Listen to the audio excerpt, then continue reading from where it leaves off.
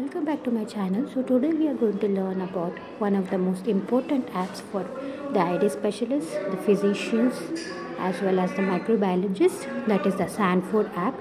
So this app has various features which will help you in giving the right antibiotic to the right patient at the right time in the correct or the right dose. So I will today I'll be guiding you through the installation and how to use the app. I hope all of you find this video useful. And more for more such content don't forget to like share and subscribe to my channel. Yeah so let's get started with it. So it is easily available on any platform the google store or the ios store. The name is the sanford app. Uh, how to get this uh, what this app sanford? So you just have to search for sanford sanford guide. So just install the application.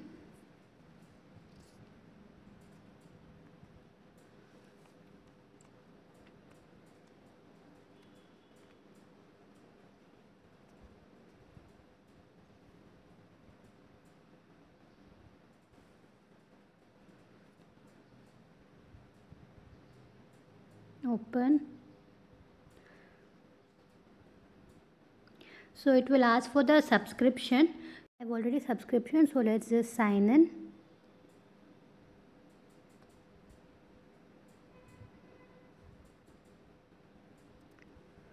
So once you sign in the all the content of the sanford will be downloaded. So it keeps updating. So with all the new updates in the guidelines uh, this app gets updated frequently. So you don't have to worry about uh, uh, using the old data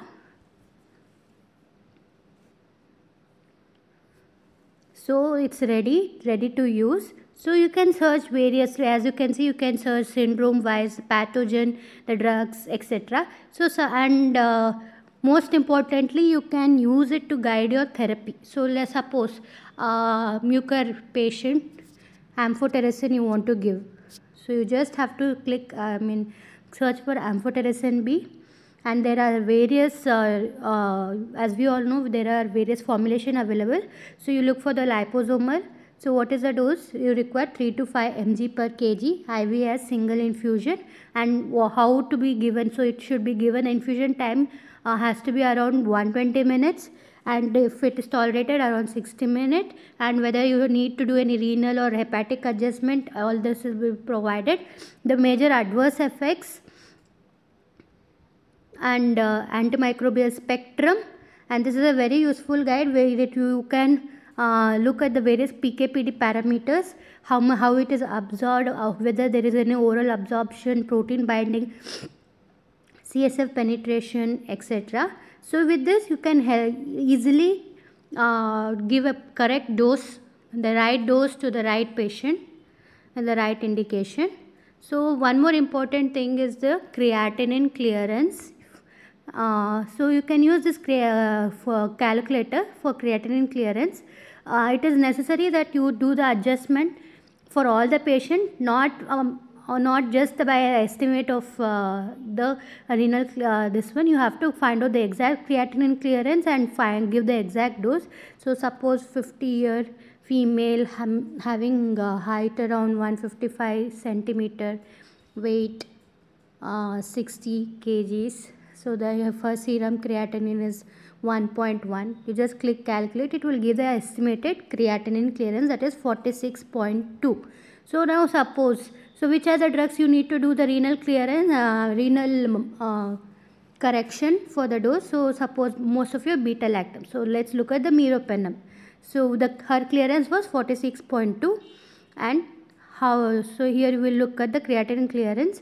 So if it is between 25 to 50 you have to give 1 gram q12 hourly that is bd dose. So you can use this for dosing adjustment of the various drugs. And one more important so just use a search colistin so as we all know colistin dosing is a very very difficult task so for that again you can use this colistin dosing calculator. So here you enter, so the, suppose the same patient I want to give colistin 60, what was her creatinine clearance? 46.2.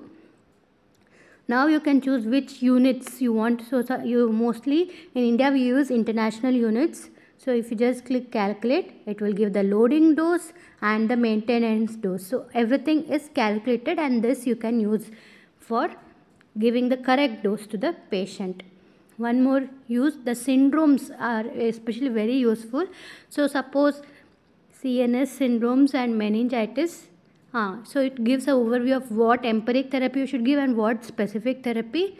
So let's look at the empiric therapy and again based on the various age groups you can choose.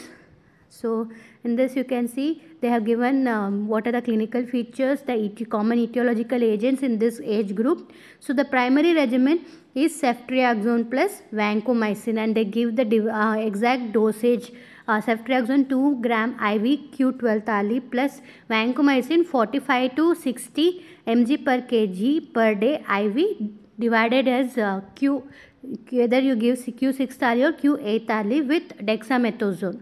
So this is the empiric therapy and if listeria you should add ampicillin. So this is your empiric therapy and uh, alternative the uh, alternative therapy also will be given and it will also give the antimicrobial stewardship points which are uh, required for you to know and if you want to choose the specific therapy so you have uh, many times uh, you the common available uh, drug bug combination you will know but there are some times so suppose a patient has elizabeth kingia and you are not sure what exactly you need to give.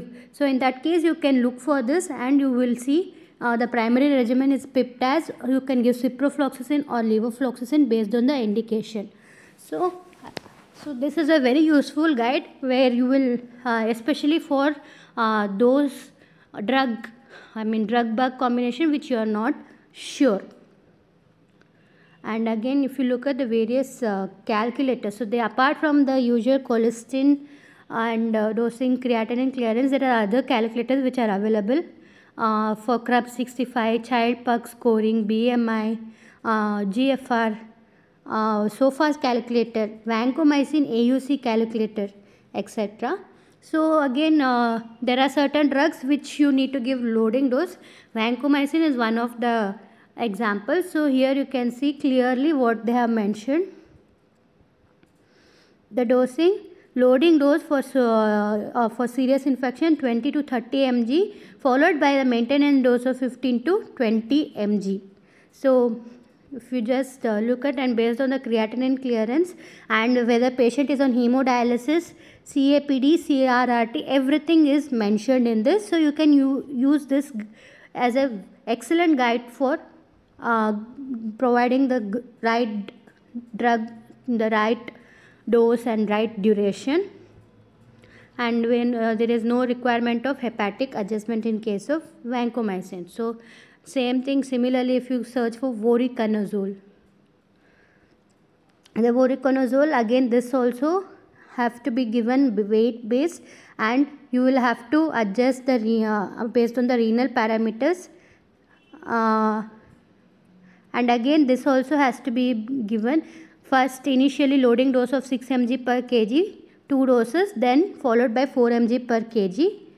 And uh, another important thing which they provide here in this is the various drug major drug interactions so you can look into this part and it will give the various drug interaction with the drug. So you can look at uh, whatever your drugs the patient is on and see if this voriconazole is having effect on that particular drug. So voriconazole, as you all know, most of the azoles have this uh, interaction with major uh, majority of your uh, drugs, especially your ART. So it, you must uh, make sure you look into this uh, interaction because again this has a this plays an important role in the therapy. Then you can even bookmark certain things so you can uh, so for reference so if you can just add the bookmark and you can title and you can add your own notes in this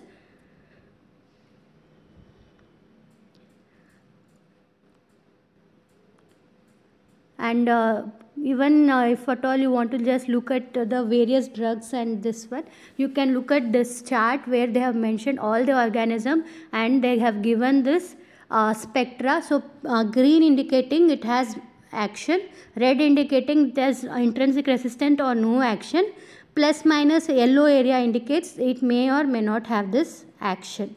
So blue are the ones which has a like the action of the drug on this bug is maximum.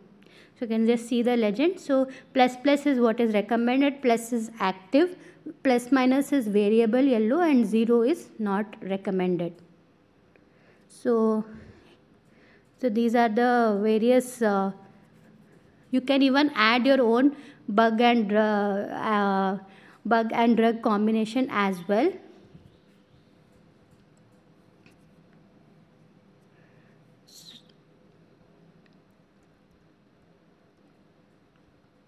so in this again you can uh, find out which are the drugs which requires your uh, uh, prolonged uh, or continuous infusion. So these are the drugs which require most of your beta lactams and your all your beta lactams require prolonged dosing. You have a list in one place.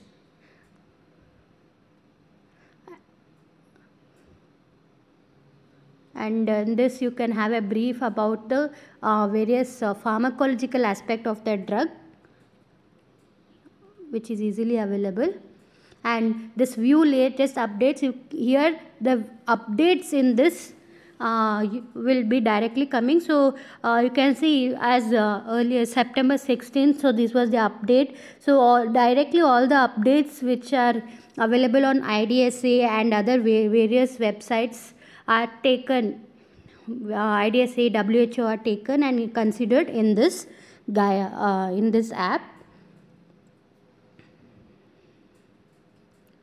So duration of therapy, again this one is a short guide for uh, how, like depending upon the type of infection, how long you should give the treatment.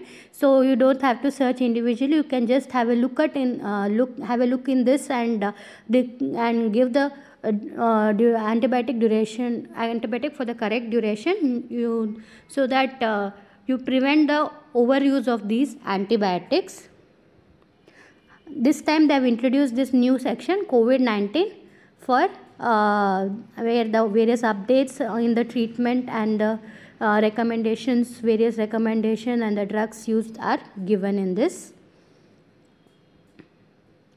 so these are the various uh, uh, tables and tools which are available. So apart from the usual uh, drug interaction, drug drug interaction table is also there.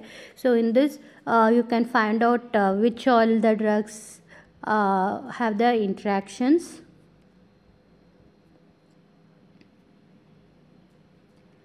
So I, another aspect they have is this adverse effect. One important adverse effect is QTC prolongation.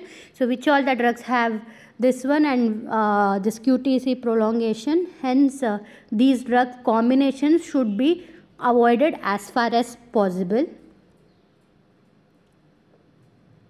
They have this section on drug desensitization. So, if the patient is having drug reaction to these drugs, you can look at this menu for uh, desensitization, how you will do so initially, for a if at all the patient is having uh, adverse reaction to cotrimoxazole and it is not grade 4, in that situation you can try this method of desensitization depending upon like first star you will give only uh, 0.04 by 0.2 and like so in going uh, you go on increasing this dose and look for the adverse effect.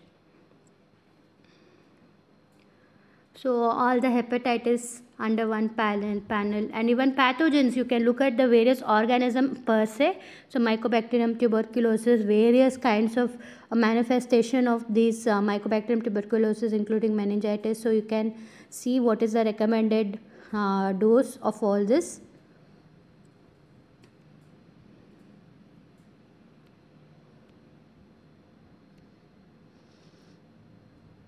and even the drugs is available so and various antifungals antimicrobial agents antiparasitic agents.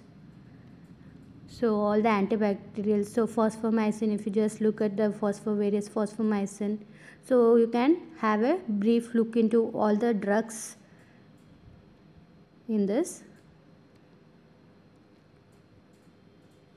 So they have a guide on the prevention, prevention of surgical site infection, your uh, post-exposure prophylaxis, for uh, HIV, hepatitis and others.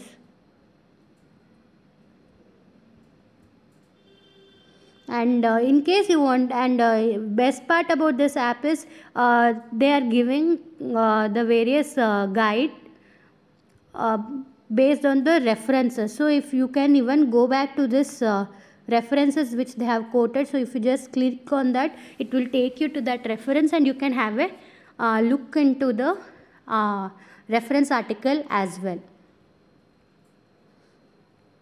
So you can just click and uh, you can have a look into the various reference article they have cited and you can make an informed choice about whether to follow this recommendation or not that's it. And uh, i really think this is a very good uh, in uh, i mean very good app for carrying all your uh, uh, antimicrobial stewardship. So i hope all of you all the microbiologists all the physicians and id specialists so I request all of you to download this app. And uh, this app has got a very good review. Be, uh, before it was available as a pocket guide.